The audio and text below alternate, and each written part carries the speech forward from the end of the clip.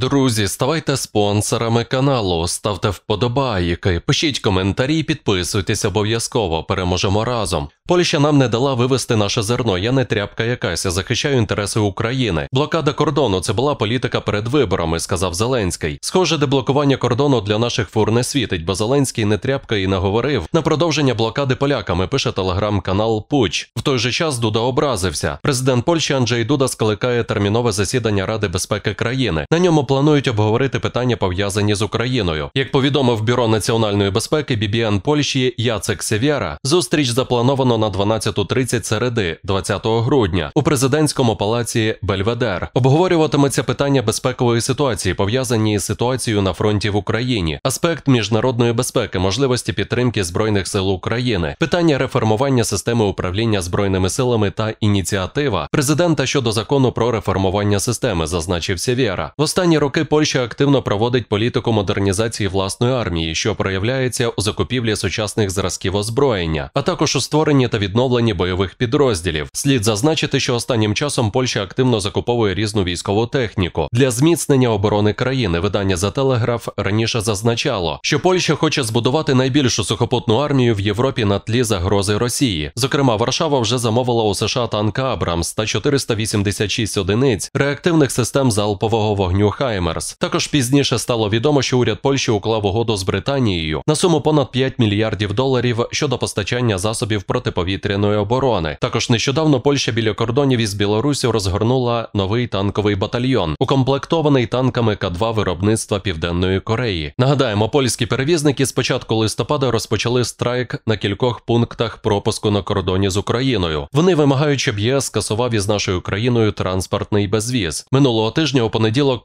протестувальники перестали блокувати пункт пропуску Ягодин Дорогуськ. До зустрічі, друзі. Ставайте спонсорами каналу, ставте вподобайки, пишіть коментарі, підписуйтесь обов'язково. Переможемо разом.